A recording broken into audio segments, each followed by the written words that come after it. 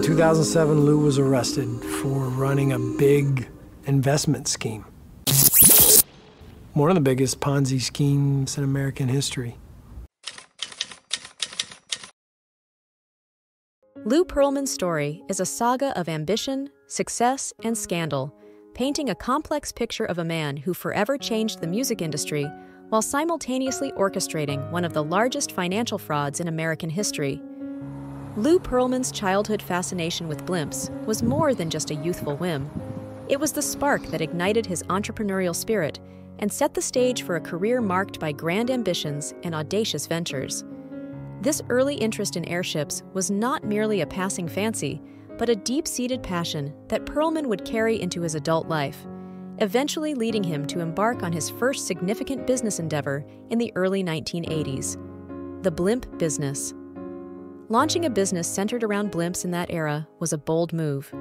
Blimps, or non rigid airships, were a symbol of innovation and grandeur, evoking images of a bygone era when they were the giants of the skies. For Pearlman, the blimp business was not just a commercial venture, it was a venture into a world of wonder and possibility. He saw in blimps not just an opportunity for profit, but a chance to be part of something larger than life, something that captivated the imagination and soared above the ordinary. Pearlman's foray into the blimp industry was his proving ground, the arena where he honed his skills as a businessman and entrepreneur. It required not just capital and resources, but vision, persistence, and an ability to navigate the complexities of a niche market. The challenges were immense, from the technical intricacies of airship construction and maintenance to the logistics of operation and the task of securing clients in a highly specialized field. Yet, Pearlman approached these challenges with the zeal of a true entrepreneur, driven by a conviction that his blimps could rise above the competition and carve a niche in the aerial advertising and entertainment industry. As Pearlman's blimp business took flight, it evolved, much like the airships themselves, into something broader and more ambitious. The business expanded its horizons, transitioning from blimps to a private airline charter business. This evolution was a natural progression for Pearlman, a step up from the slow moving grace of blimps to the speed and efficiency of airplanes. The charter business was not just a new venture, it was a leap into a highly competitive and lucrative industry one that demanded a keen understanding of market dynamics, impeccable service, and an ability to cater to an elite clientele. His private airline charter business also set the stage for his eventual encounter with the music industry when he chartered a flight for the band New Kids on the Block. Struck by the immense success of the boy band, Pearlman realized the lucrative potential of the music industry and decided to pivot his career toward creating the next big musical sensation in order to transition from the world of aviation to the glitzy and cutthroat music industry. Lou Pearlman moved to Florida. His ambitions were clear and audacious to create a musical phenomenon that would rival the success of New Kids on the Block. With this goal in mind, Pearlman began hosting auditions, scouring the Sunshine State for talent that would bring his vision to life. It was a quest for the perfect blend of charisma, talent, and appeal elements he believed were essential to form the ultimate boy band. The audition process was exhaustive and rigorous, with Pearlman leaving no stone unturned in his search for stars. He understood that success in the music industry was not just about having a good voice or a pretty face. It was about chemistry, about finding individuals who could not only sing and dance, but also connect with audiences on an emotional level. Pearlman was not just assembling a band, he was engineering a cultural phenomenon. Pearlman's perseverance paid off when he formed the Backstreet Boys, a group that would become synonymous with the boy band craze of the 1990s. The success of the Backstreet Boys was meteoric, propelling Pearlman into the spotlight as the mastermind behind the sensation. But Pearlman was not content with creating just one successful band. He replicated his success with NSYNC, another group that would rise to global fame captivating audiences with their melodies and dance moves. And then came Innosense, a band that briefly included future pop icon Britney Spears, adding another layer to Pearlman's growing musical empire. Pearlman's Midas touch in forming these bands earned him the title Father of Boy Bands. He had fundamentally reshaped the music industry, creating a template for boy band success that others would try to emulate for years to come. His bands were more than just musical acts, they were brands, cultural icons that defined a generation. The success stories of the Backstreet Boys and NSYNC were testaments to Pearlman's vision and his uncanny ability to tap into the pulse of the music market. However, behind the facade of chart topping hits and sold out concerts lay a darker reality. The very artists who were the face of Pearlman's success were also the victims of his ruthless business practices. Despite their global fame and the relentless work they put into their careers, the band members were financially exploited. Contracts were structured in a way that funneled the lion's share of the earnings back to Pearlman and his companies, leaving the artists with a meager income that was starkly disproportionate to their success. This exploitation was not just a betrayal of trust, it was a glaring paradox in the glamorous narrative of boy band fame.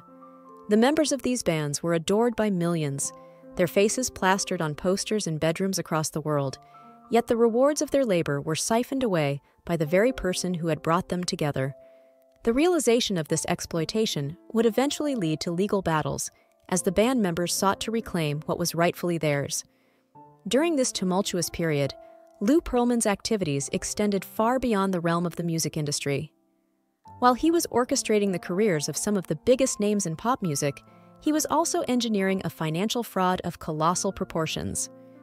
The Ponzi scheme he masterminded was not merely an act of financial impropriety, it was a calculated, systemic draining of the life savings of unsuspecting investors, a deceit that would eventually rank among the most egregious in history.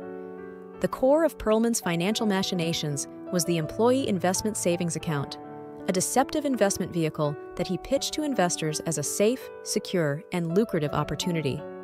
With the promise of FDIC insurance, investors were led to believe that their investments were protected, that their trust was placed in the hands of a reliable and regulated financial institution. However, the reality was starkly different. The supposed safety net was a mirage, a fabrication that concealed the perilous nature of the scheme. Pearlman's strategy was simple, yet devastatingly effective. He used the funds from new investors to pay returns to earlier ones, creating the illusion of a profitable, thriving investment venture. This cycle of deceit not only kept the scheme afloat, but also helped it grow, attracting more investors, drawn in by the lure of steady returns and the apparent legitimacy of Pearlman's operations. The facade of success was bolstered by the high profile nature of Pearlman's other business ventures, particularly in the music industry, which added a veneer of credibility to his financial dealings. The funds siphoned from investors were not just used to perpetuate the scheme, they also fueled Pearlman's extravagance. He led a life of opulence, marked by luxury properties, private jets, and extravagant parties. This lavish lifestyle was not just a display of wealth, it was a calculated move to project the image of a successful, affluent businessman a persona that would attract more investors to his fraudulent scheme. Pearlman's financial empire was a complex network of companies and investments, interwoven in a way that made it difficult to discern the legitimate from the fraudulent. He shuffled funds between various accounts and businesses, using the money from his Ponzi scheme to plug financial gaps in his other ventures, and vice versa. This intricate web of transactions was not just a means of financial management. It was a deliberate strategy to obfuscate, to blur the lines between his legitimate business activities and his fraudulent ones. As the scheme grew, so did the stakes. The amount of money involved reached staggering proportions, with over $300 million defrauded from investors. The scale of the fraud was such that it not only ruined the financial lives of countless individuals, but also sent shockwaves through the investment community undermining trust in the financial system and the regulatory mechanisms meant to protect investors. However, as with all Ponzi schemes, the facade eventually began to crumble. The relentless pursuit of new investors, the increasing difficulty in maintaining the illusion of profitability, and the growing scrutiny from authorities and investors alike led to the unraveling of Pearlman's deceitful empire. When the scheme finally collapsed, it exposed not just the financial devastation it had wrought, but also the audacity and ruthlessness of the man behind it. Lou Pearlman's trial and conviction in 2008 were the culmination of his years of fraudulent activities, marking the end of his financial empire and his status as a music mogul. The trial was a significant legal proceeding, given the scale of his Ponzi scheme and the number of individuals and entities affected by his actions. Pearlman was charged with multiple counts of conspiracy, money laundering, and making false statements during a bankruptcy proceeding. The charges stemmed from his orchestration of the Ponzi scheme that defrauded investors of over $300 million and his mismanagement and exploitation of the boy bands he produced. The trial revealed the extent of his deceit, including the fabrication of financial statements, the establishment of fictitious companies to attract investors, and the misuse of investors' funds for personal gain. The proceedings were complex, involving a multitude of witnesses, including defrauded investors, former band members, and financial experts who dissected Pearlman's intricate web of financial transactions. The prosecution presented a detailed account of Pearlman's fraudulent activities, painting a picture of a man whose ambition and greed led him to perpetrate one of the largest and most audacious financial frauds in recent history. Pearlman's defense, on the other hand, faced the daunting task of countering the overwhelming evidence presented by the prosecution. The defense team attempted to mitigate the severity of the charges, arguing for leniency based on Pearlman's contributions to the music industry and the economic benefits his businesses had generated. However, the sheer scale of the financial damage caused by his actions, coupled with the personal testimonies of those defrauded, made the defense's position challenging. The legal proceedings against Lou Pearlman were a high stakes drama, unfolding in a courtroom where the contrasting strategies of the prosecution and defense clashed, each side weaving their narratives to sway the judgment of the law. Pearlman, once a towering figure in the music industry, found himself ensnared in the legal system, his future hanging in the balance as the intricate details of his extensive financial fraud were laid bare for scrutiny. The prosecution, armed with a trove of evidence and testimonies, meticulously built a case that portrayed Pearlman as the architect of one of the largest Ponzi schemes in American history. Central to their strategy was the task of unraveling Pearlman's complex web of financial transactions, fictitious businesses, and fraudulent accounts. The prosecution aimed to expose the full extent of Pearlman's deception, revealing how he used the allure of his successful music ventures to attract investors to his scheme. The heart of their narrative painted a picture of a man whose greed knew no bounds, a man who callously defrauded investors, including many who had entrusted him with their life savings. The prosecution's case was bolstered by the emotional testimonies of the victims, who took the stand to recount the devastation Pearlman's actions had wrought upon their lives. These personal stories added a visceral element to the financial data and legal arguments, grounding the proceedings in the stark reality of human suffering caused by Pearlman's greed. In contrast, Pearlman's defense team faced the monumental task of countering the avalanche of evidence presented by the prosecution. Their strategy hinged on casting doubt on the malicious intent attributed to Pearlman, portraying him instead as an ambitious entrepreneur whose ventures, while aggressively pursued, were never meant to defraud. The defense argued that Pearlman's actions were those of a visionary, albeit one whose financial management was flawed and misguided, rather than criminally deceptive. The defense also sought to exploit legal loopholes and procedural technicalities, challenging the admissibility of certain pieces of evidence and questioning the credibility of some of the prosecution's witnesses. They navigated the complexities of financial law, attempting to dissociate Pearlman's legitimate business activities from the fraudulent operations that the prosecution was spotlighting. However, the scale and depth of Pearlman's fraudulent activities left little room for the defense to maneuver. As the trial progressed, the weight of the evidence and the sheer number of individuals affected by the Ponzi scheme painted a damning picture. The law was catching up with Pearlman, his past actions casting long shadows that no legal argument could dispel. The culmination of the legal proceedings saw Pearlman convicted on charges of conspiracy, money laundering, and making false statements during a bankruptcy proceeding. The sentence of 25 years in prison was a testament to the severity of his crimes.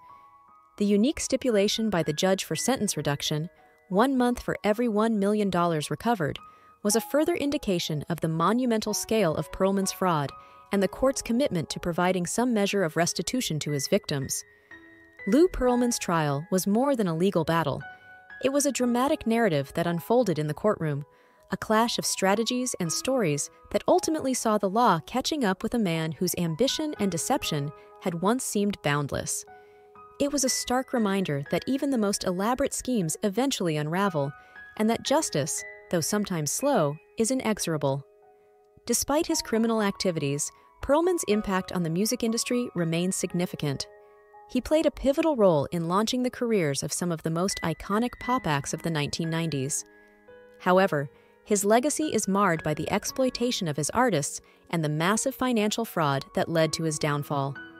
Lou Pearlman's time in prison was notably less documented than his career in the music industry and his trial, but a few details provide insight into his life behind bars. After being sentenced in 2008, Pearlman was incarcerated at the Federal Correctional Institution in Texarkana, Texas. While specific details about his day to day life in prison are scarce, it's known that Pearlman continued to be involved in business dealings, albeit at a much smaller scale and under the strict limitations of his incarceration. Reportedly, he even attempted to kickstart new business ventures from prison. One such venture was said to be a plan for a new talent show or boy band, indicating that even while imprisoned, Pearlman's entrepreneurial spirit and interest in the entertainment industry persisted. However, Pearlman's health deteriorated over the years he spent in prison. He struggled with various medical conditions, which eventually led to his hospitalization. In 2016, while still serving his sentence, Lou Pearlman passed away from cardiac arrest at the age of 62. Pearlman's death in prison marked the end of a life that had seen astronomical highs in the entertainment industry and catastrophic lows following his conviction for financial fraud. His story remains a complex narrative of ambition, success, deception, and downfall. Join the conversation. Drop a comment to share your thoughts and insights. Don't forget to hit that like button and subscribe for more captivating content. Thanks for tuning in to Reely Unreal. Join us next time for another fascinating true crime story. Stay curious, stay connected, stay with Reely Unreal.